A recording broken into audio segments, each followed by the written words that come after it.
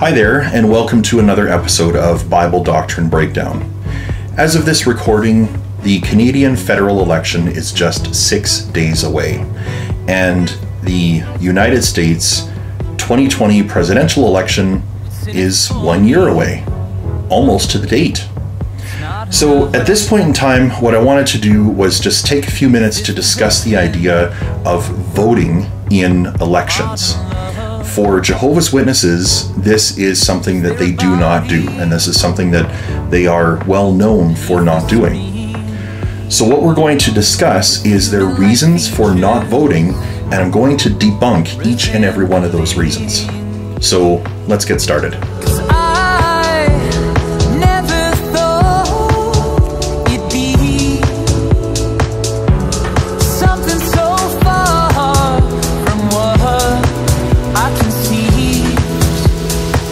Before we begin with Watchtower's six reasons for not voting in an election, I just want to give you my own personal thoughts on this. Now, of course, in Canada and in the United States, voting is optional. You can decide whether or not you want to participate. In other parts of the world, it is compulsory, even to the point of facing jail time or hefty fines for not voting. So I'm going to focus on Canada's election, especially just because it's a few days away. Being brought up a Jehovah's Witness, of course, I didn't participate in any kind of votes, whether they be city, provincial, federal, you name it, strictly neutral. That's the policy of Jehovah's Witnesses everywhere. As a former Jehovah's Witness, it took me a little while to come around to the idea of actually voting in an election because I'd never done it before. I didn't feel educated enough to make a informed decision. That changed. and my encouragement to everyone viewing this, whether you are a Jehovah's Witness or an ex Jehovah's Witness or never were, and maybe you're just thinking, well, what's the point in voting? I want you to consider the idea would you want somebody else to do this to you in a buffet restaurant?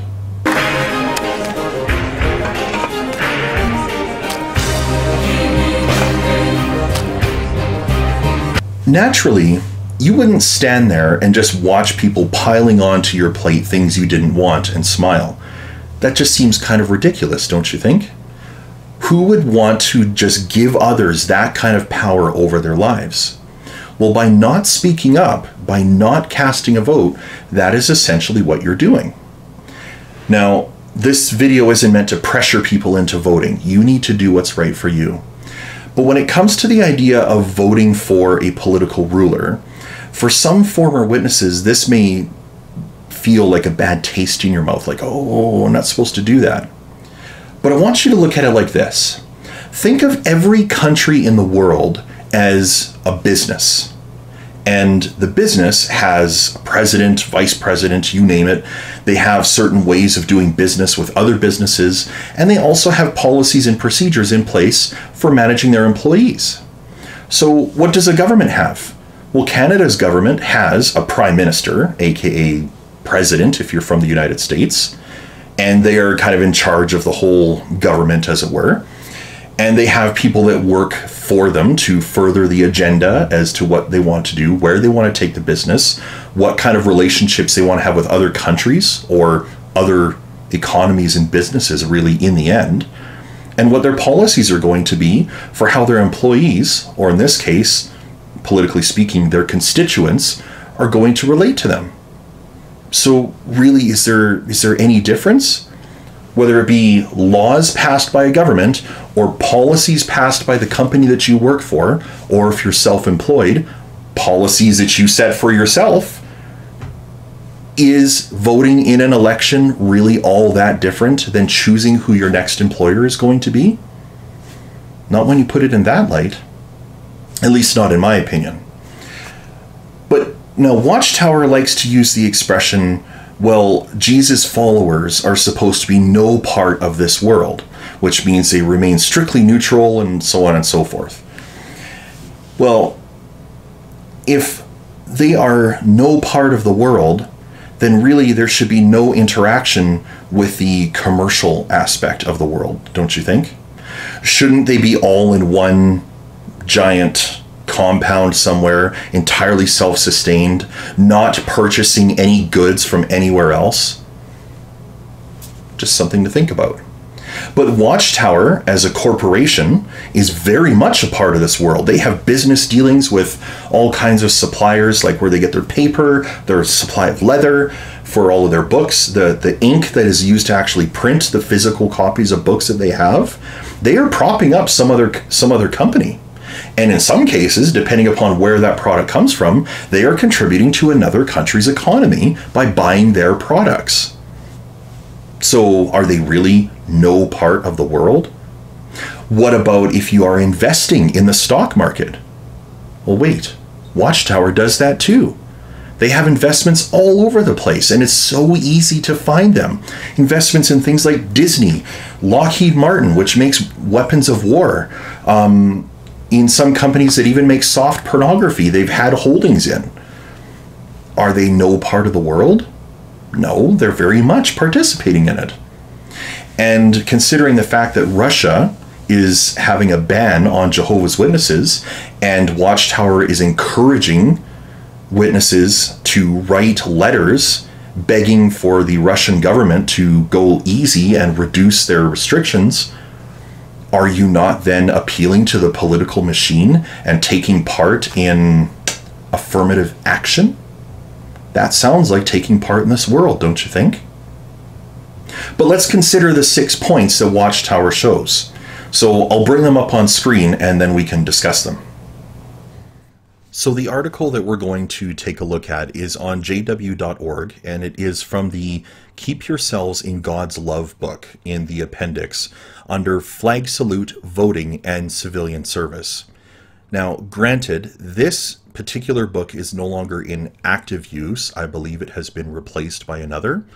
But the principles are very much considered current, especially because when I went to jw.org and just did a search on voting, Keep Yourselves in God's Love is the first result after some scriptures. So obviously, Watchtower considers this information pertinent to the discussion. So let's go down to the subject on voting. So it talks here about voting in political elections and mentions that Christians, sorry, true Christians, respect the right of others to vote and that they don't campaign against elections and cooperate with elected authorities. I know what you're thinking. That discussion about cooperating with elected authorities, that's a whole other ball of wax. But let's look really closely at why they stay neutral in political elections. And there are six principles. So let's just zoom in on that part of the discussion. First of all, number one, Jesus' followers are no part of the world, and it uses John 15, verse 19, which reads, If you were part of the world, the world would be fond of what is its own.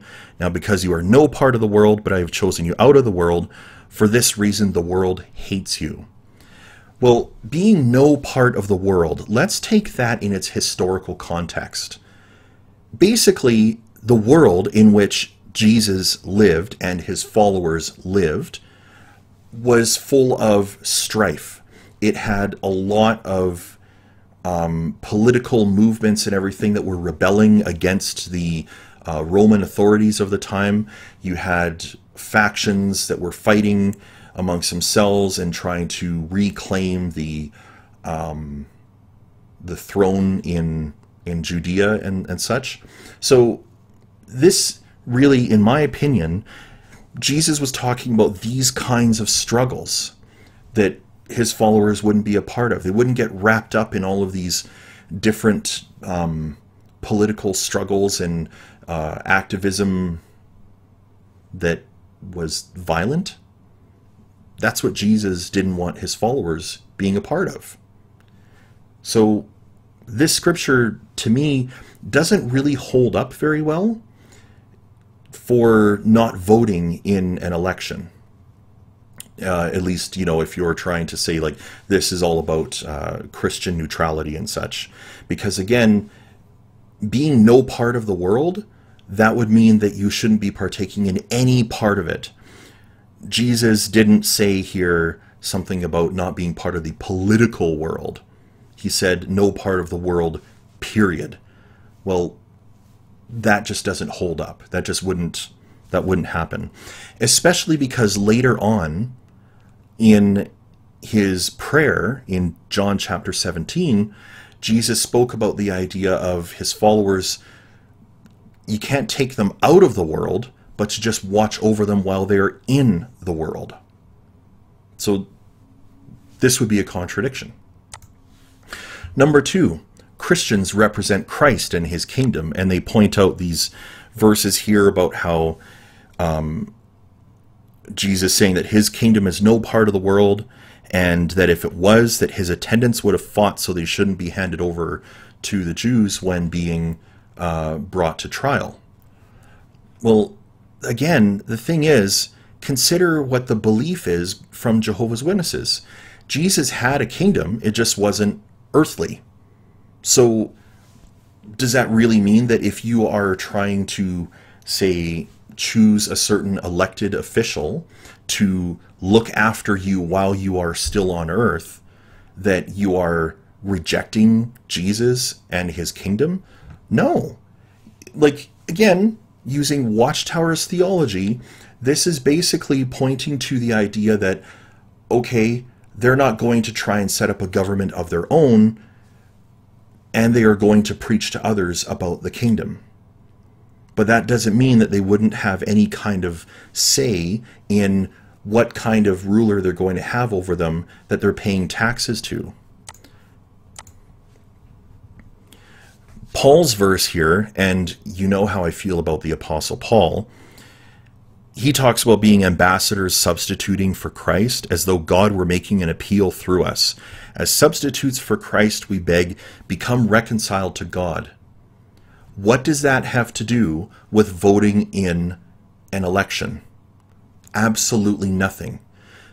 Someone can be reconciled to God, as it were, and still say, well, that guy is going to tax me less than the other guy, so I would like to pay less taxes, thanks.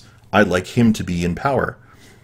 Is that substituting for Christ or God? No. It's basically saying, I just want to pay less taxes. Nothing wrong with that. So this argument also really doesn't hold water. The third one, about the Christian con- congregation being united in belief and members bound together by Christ like love. Again, here we are back in Paul's writings. I urge you, brothers, that you should speak in agreement and that there should be no divisions among you, but you may be completely united in the same mind and in the same line of thought. So, I mean, what Paul is really saying here is you shouldn't be like arguing a whole bunch amongst each other. Okay, that's fine. We can have friendships and even like be family with people that have differing political beliefs than us. It doesn't mean that we can only think along the same lines as those around us or that they should all have to think our way. This is destructive. This leads to nothing but an echo chamber of potentially bad ideas and has demonstrably pr- been proven to cause exactly that. So I don't feel, honestly, that this scripture holds up at all with regards to not participating in an election. And another one of Paul's golden nuggets in another letter clothe yourselves with love, for it is a perfect bond of union. Having the same political beliefs or ideals is not a predicate for having love for other people. I like to think of myself as a bit of a liberal, but I have very close relationships with people that are conservatives. It is not dependent on being in the same political spectrum or the same spot in the political spectrum to have love for somebody. So this too really falls flat. Number four, those who elect a certain official share responsibility for what he does. and then it has principles uh, recorded here. 1 Samuel 8, verse 5 uh, talks about like your sons are not walking in your ways. Now appoint for us a king to judge us like all the other nations. And then in later verses, later verses, what we really have here is when the when the ancient Israelites are asking like, can we please have a king, just like all of the other nations? After all, we are a nation. Can we have a king here? Jehovah, the narcissist, goes on about the idea, well, okay, this is what the king is going to do to you, and you know, whatever whatever he says, you have to do, and I will hold you responsible for that.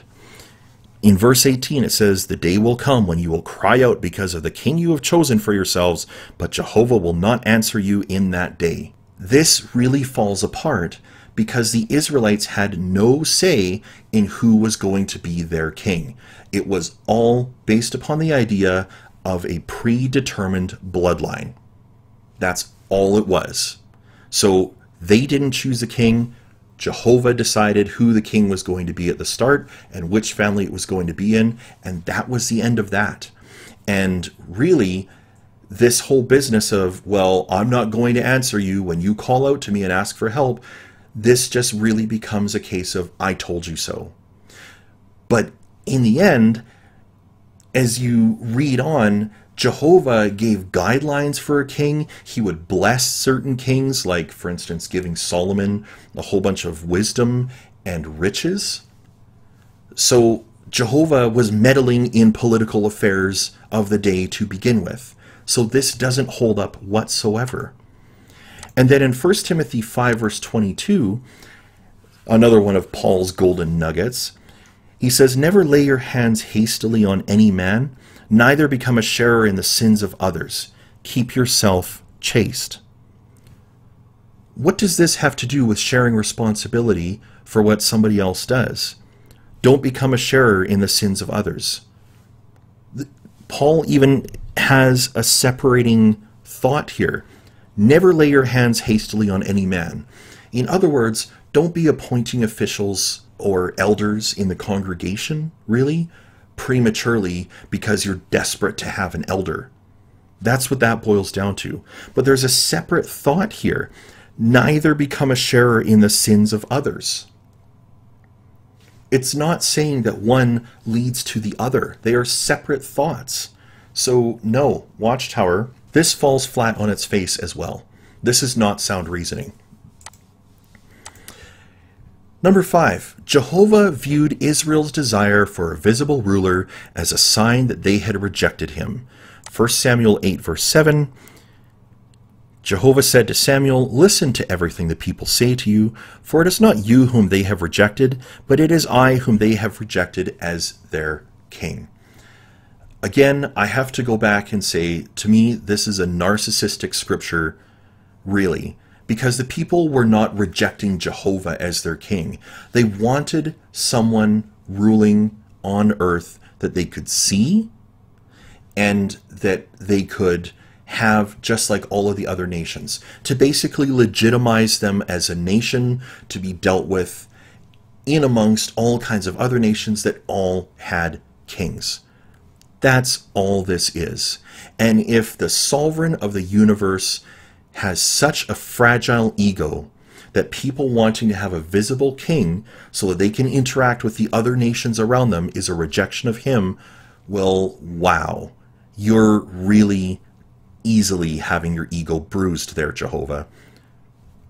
Get over yourself. Lastly, Christians must have freeness of speech when speaking to people of all political persuasions about God's kingdom government. And we have scriptures that are very familiar about the good news of the kingdom being preached. Or Matthew 28 19 and 20. Go and make disciples of people of all the nations, baptizing them and teaching them the things I have commanded you. Hebrews 10:35 Do not throw away your boldness which will be richly rewarded. Well, here the footnote says freeness of speech. I don't see how you are throwing away any freeness of speech when if you want to be a quote kingdom proclaimer and you want to tell people all about the kingdom of God, there is nothing that you are throwing away your freeness of speech on if you have a political persuasion on earth. If you are waiting for God's kingdom to supposedly come and take over and everything else, okay, you're sitting back and you're waiting and you're not doing anything. You're not taking part in anything.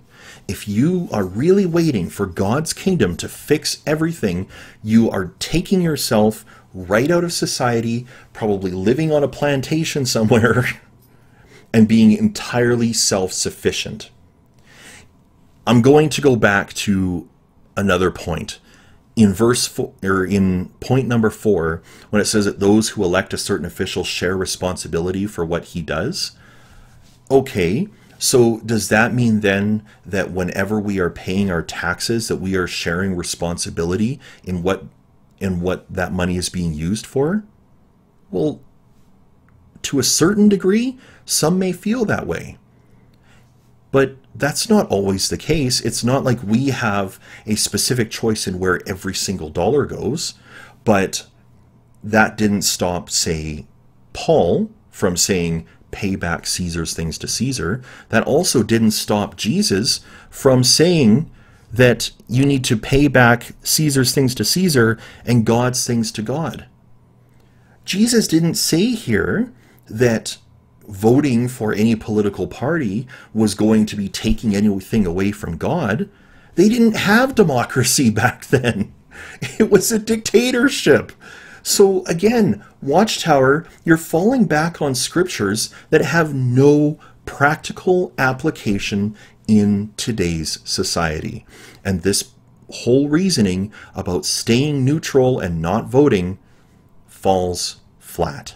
So, in light of all of that information, I want you to consider the idea voting, is it really so wrong? Is Watchtower pushing their own agenda as far as voting goes? Or are they really concerned about Christian neutrality as they speak? You have to decide for yourself. In the end, stop, think. Are you letting somebody else pile onto your plate their preferences and just standing back and letting it happen? Is that really how you would eat your meal? Something to think about. I encourage everyone get out there, vote, speak your piece. Even if you are not overly thrilled with the candidate that is leading the political party or representing you, at least have your say. If your candidate wins, great, the person you asked for, they're in they're in office now. If somebody that you didn't want to wins, at least you can go to bed at night knowing you did your part to try and prevent it. At any rate, keep those thinking caps on and be sure to think for yourself before you let others decide for you.